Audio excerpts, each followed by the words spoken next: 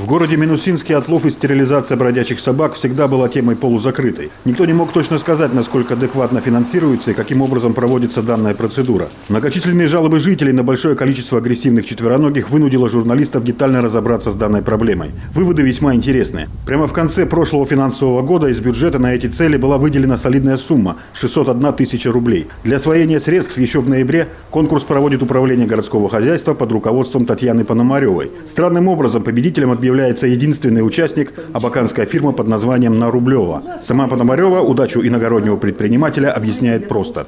Почему не было участников, когда вот первый аукцион проводили? Потому что вот этим требованиям вот не так не много было, фирм э, подходят. Вот, например, наше Минусинское городское хозяйство, которое на протяжении многих лет занималось отловом бродячих животных, оно не подошло под эти параметры. В этой службе есть лицензия, у них есть ветеринарные врачи, у них есть питомники, куда могут помещаться животных. И в соответствии с тем, какое это животное, проводятся определенные мероприятия. Допускаем, на этом этапе нарушений закона нет. Деньги проплачены, по бумагам услуги предоставляются. Однако в итоговых документах удивляет один весьма серьезный нюанс. Все работы были как бы выполнены под занавес прошлого года в период с 3 по 10 декабря. То есть в течение 8 календарных дней абаканская фирма на улицах города Минусинска отловила 120 бродячих собак, 60 из которых подвергнуто эвтаназии, то есть усыплены, 15 возвращено неким владельцам, остальные 45 после стерилизации выпущены на свободу. Цифры для Минусинска просто фантастические. Даже сложно предположить, группа лиц на спецавтомобилях гонялась по улицам города за бродячими животными, отлавливая за смену до 15 вопящих полуголодных зверей. При этом опросы жителей показывают, никто подобных сцен почему-то не видел. Ну а вы видели вообще, что вылавливал кто-то? Нет, нет, давно такого не видел. Это в 90-х было, да. Не, не видела эту акцию, ничего. И собак не видела. Никто не ловил. Никто не... Только ребятишки, чтобы погладить. Сам факт отлова собак во всем городе мы установить так и не смогли. Естественно, после таких серьезных противоречий мы ищем подрядчика. Директор фирмы Дмитрий Палагин при первом знакомстве, не подозревая о серьезности наших намерений установить правду, пообещал ответить на любые вопросы. Отлов больные агрессивные усыпление и утилизация через крематорий, а которые собаки не агрессивные, нет угрозы обществу, не больные. Молодые собаки не стерилизованы. Порядка около 600 тысяч. Там не месяц, а количество собак. Это был единственный раз, когда мы слышали голос удачливого подрядчика из Абакана. После безуспешных неоднократных попыток с ним повторно связаться, мы обратились за помощью к нашим коллегам из Абакана. Журналисты новости 24 Саяны предоставили нам видео ветеринарного комплекса на Рублева, но взять интервью у директора им также не удалось. И как оказалось, наших животных здесь никто не размещал. В поисках минусинского зверя мы вновь обращаемся за разъяснениями к сотрудникам управления городского хозяйства. Были примерно, они же не находились. Еще в Минусинске? Да, у нас филиал есть этого центра. У вас? Да, не у нас, и у них. У на Рублева. У них здесь филиал в Минусинском районе.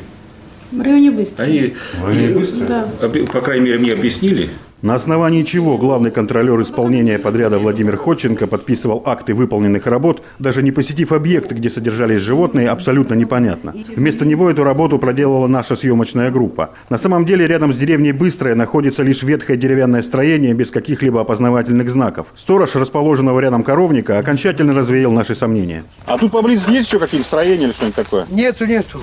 То есть никаких собак сюда не привозили никогда? Нет. Нет. Уже на следующий день руководитель управления городского хозяйства Татьяна Пономарева, узнав о проверке журналистами несуществующей базы в районе Быстрой, предложила нам ознакомиться с договором аренды уже другой базы в районе улицы Промышленная 1, уже в который раз предложив нам не торопиться с выводами и встретиться с директором знаменитого Нарублева. В понедельник они сказали, что готовы с вами встретиться, готовы показать, как они работают. Пригласить вас. Пригласить вас. Они говорят, мы готовы пригласить студию. Ради Бога. Ни ради Бога, ни в понедельник, ни в среду. После очередной безуспешной попытки журналисты уже с участием представителя ревизионной комиссии Горсовета направились по второму адресу на промышленную 1. И на этот раз увидеть место, где размещалось 120 вольеров для пойманных минусинских собак, нам так и не довелось. К старому зданию из бетонных блоков доступ закрыт. Полностью отсутствуют признаки наличия электроэнергии и отопления. Если здесь и могли содержаться животные, то условия пребывания в бетонных казематах казематах были предельно жестокими. По словам руководителя контрольно-счетной палаты Горсовета Татьяны Юшковой, за время проверки ей также не удалось определить точное место содержания и ликвидации отловленных собак. Чем именно обосновано убийство 60 собак, также никому не известно. Депутаты полагают, что в данном случае никаких собак вообще могло и не быть. Бюджетные деньги перечислены на счета частной фирмы напрасно. Сам по себе контроль использования бюджетных средств поставлен очень слабо. А все, что связано с качеством предоставляемых услуг, по-моему, контроль вообще отсутствует. Исходя из этого, вот возникают такие ситуации. Вот мы с депутатами, с коллегами, конечно, данную ситуацию изучали по поводу этих собак, отлова этих животных. Возникает такое впечатление, что данные услуги могли вообще не предоставляться. Вместо 600 тысяч рублей город просто получил э, небольшую папочку с отчетами. На сегодняшний день уже направлен соответствующий запрос прокурору города с требованием разобраться в этой запутанной истории с собаками, отлова которых так никто и не видел. Также просматриваются признаки жестокого обращения с животными. До сих пор никто не может указать точное место расположения содержания и ликвидации 120 бездомных собак. Запутанные и противоречивые ответы исполнителей косвенно подтверждают факты незаконных действий либо совершенных преступлений. И пока готовился данный материал к эфиру, в редакцию поступила новая информация. Подробности уже в ближайших выпусках программы.